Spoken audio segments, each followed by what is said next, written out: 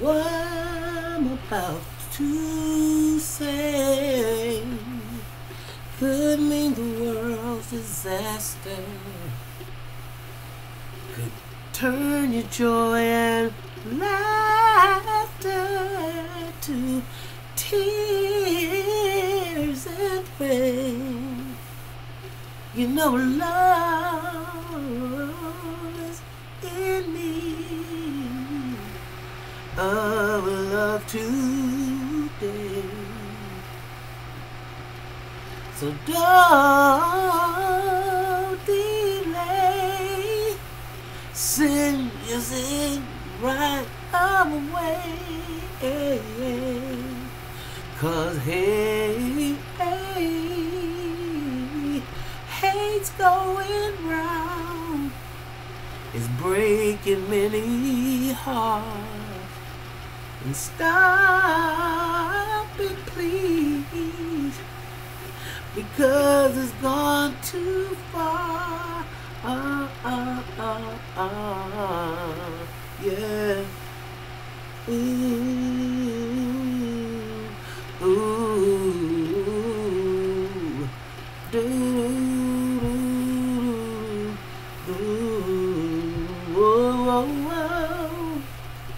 just want to give a shout out to my brother Stevie.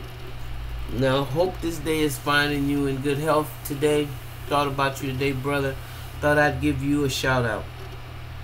Um, and then get to this story um, that I really wanted to present because you know I always hear a lot of people talking about um, America's gonna be a socialist, and especially that um, Meghan McCain. Ah, and as a person that has grown up with um, in a city that has had at least three socialist mayors, um, I think there's a lot of um,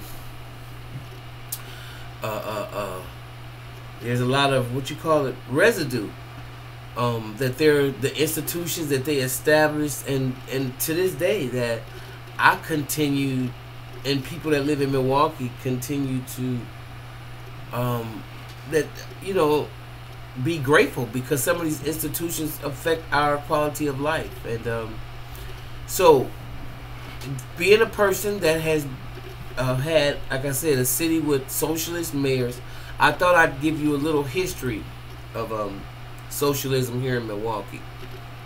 You know although uh, Wisconsin is widely remembered as the breeding ground of the communism witch hunter Joseph McCarthy Many do not know that Milwaukee was the first and only major United States city to elect a socialist mayor. Milwaukee didn't just have one socialist mayor, the city had three. Socialism took root in Milwaukee in the mid 19th century with the influx of German immigrants who had participated in the 19 I mean the 1848 revolution in their home country. The ideal the idealism and activism of those Germans combined with the political corruption of the day and a large labor force made the socialist promises for better work conditions very attractive.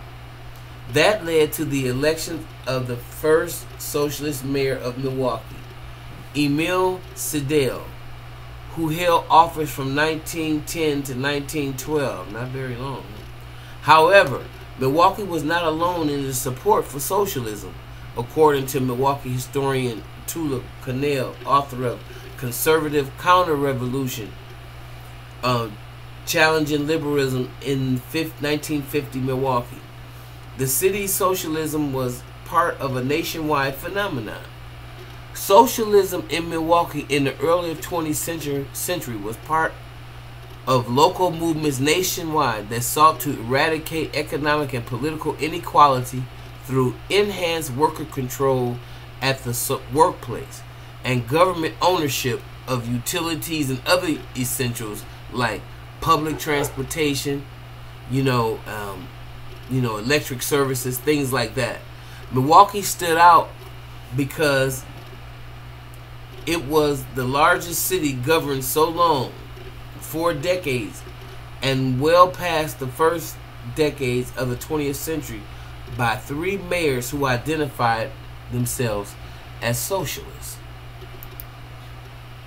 Uh, let's see. Following Seidel's election in 1910, socialist organizers in other cities turned Milwaukee into a verb signifying successful socialist reform.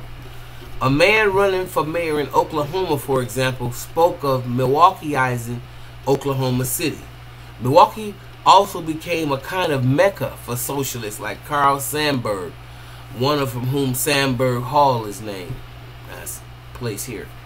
Milwaukee's second socialist mayor was Daniel Hoan, um, who governed from 1948. What? How could it be? Who governed from 1940 to 1948, and it is probable best remembered for the bridge to Milwaukee South Side that has his name. And most of y'all know it by that bridge that was on the Blues Brothers that that was cut off. At that time, it wasn't finished being constructed, and um, they used it in the movie The Blues Brothers.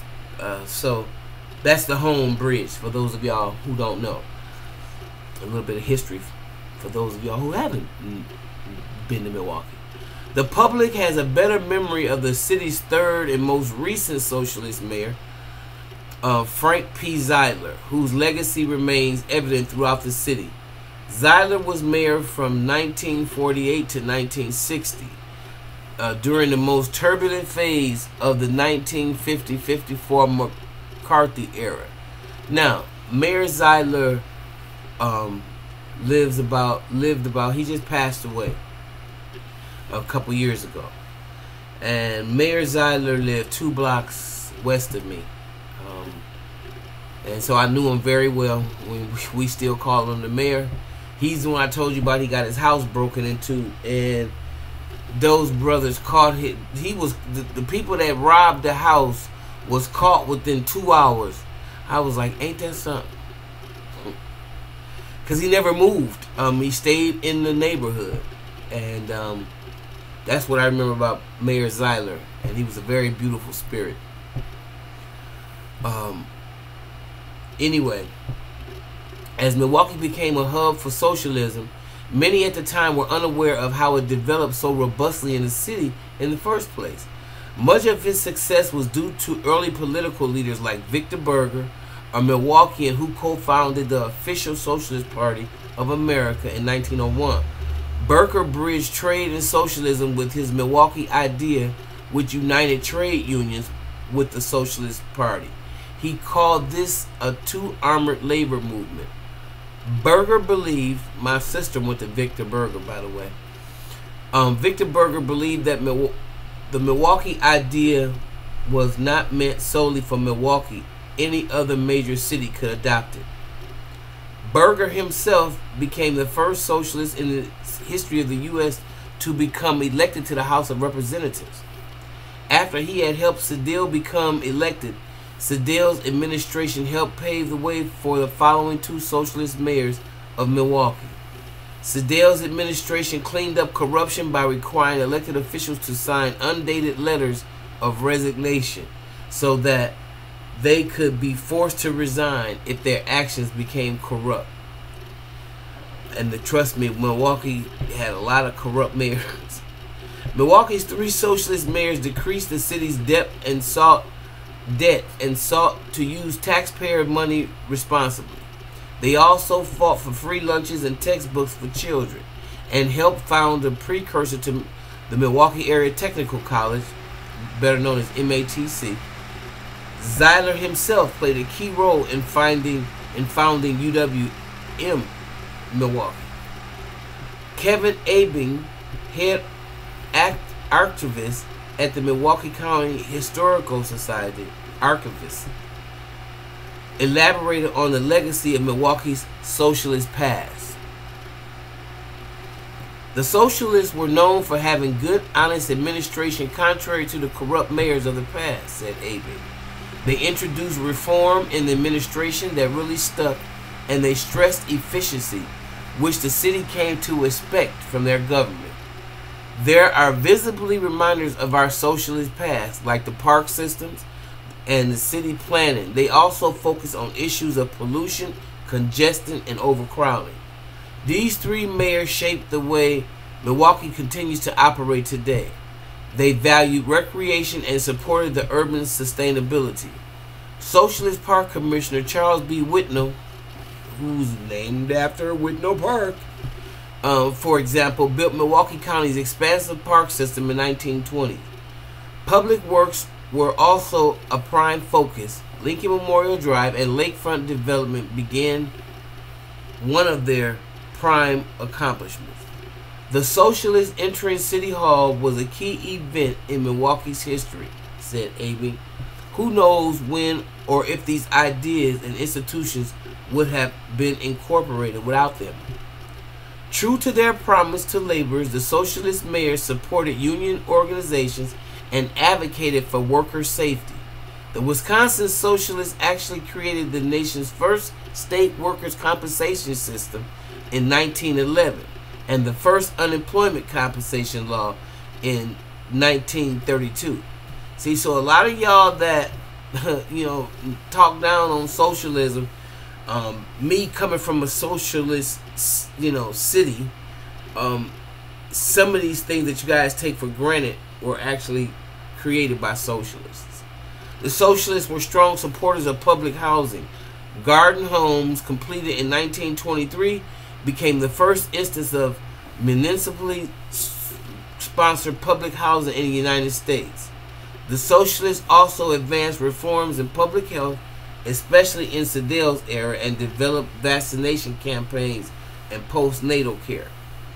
You know, I'm not saying it didn't have any of its flaws, but I have benefited from social programs. Okay, so that's you know, and these these institutions that were set up by socialists.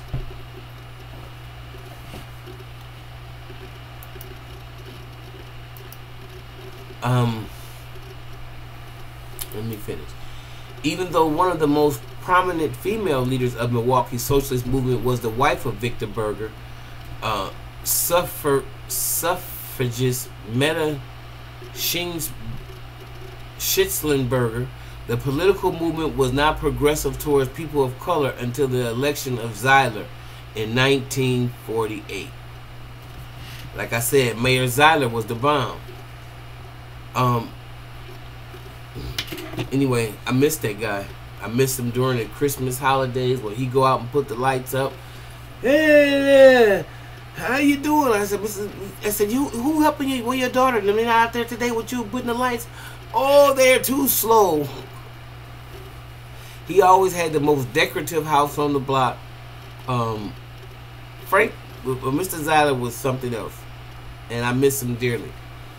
Um, anyway, Frank Zeidler made the pursuing of human rights for all people an important part of his administration.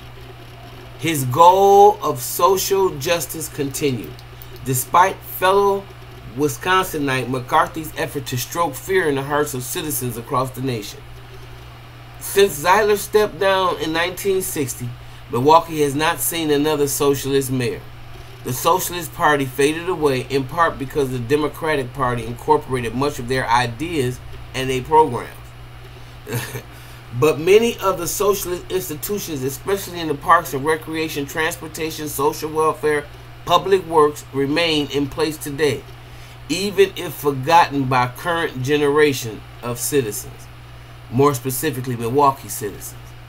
Decades of socialist governance remains an example of modern political actions and serves as a reminder of the good that occurred and lies in spite of the McCarthyism that originated in Wisconsin and threatened to destroy the nation through fear.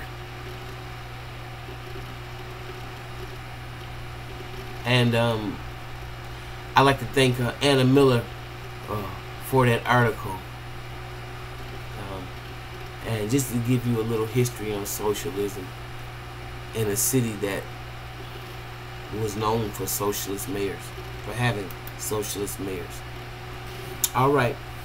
Hope that learned you something. See you in the next video.